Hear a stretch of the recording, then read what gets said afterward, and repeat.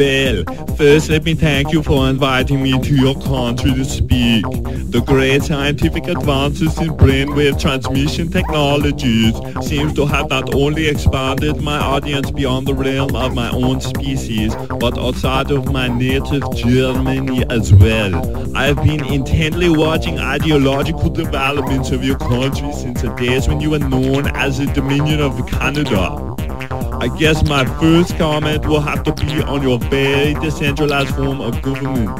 This is often overlooked by full-hearted scholars, but I feel has been key in creating harmony in such a vast and diverse nation. Of course, you have kept with the parliamentary system handed down to you by the British Empire.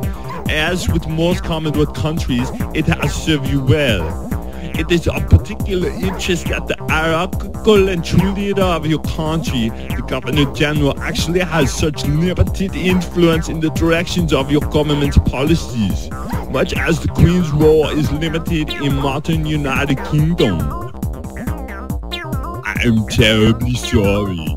Um, I would like to comment further, but it is now time for me to play with my ball.